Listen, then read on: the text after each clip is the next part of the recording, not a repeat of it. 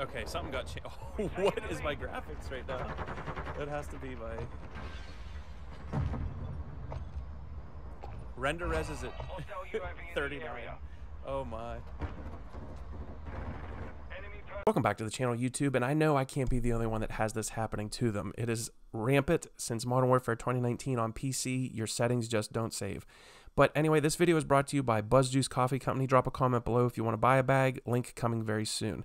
Anyway, the very first thing you're going to want to do is go into Battle.net and open up Modern Warfare uh, 2. Go in, make sure all your settings are how you want them. My settings videos will be coming shortly. If you want to mimic those, I'll be having those out very soon. Make sure all your settings are exactly how you want them.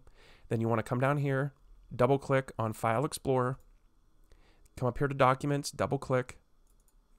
Then you want to go to Call of Duty, not the other ones. You want to go to Call of Duty, double click. Go to Players, double click on that. Then come down here to options.3.cod22.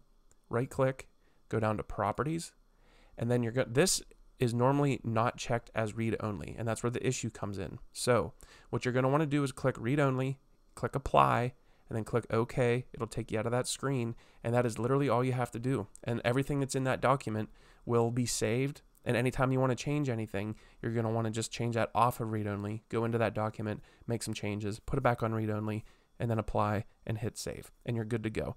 If you got something out of the video, please like it. it. Helps out a ton. Subscribe to find your way back for more content and giveaways. Splitting Wigs out. Catch you on the next one.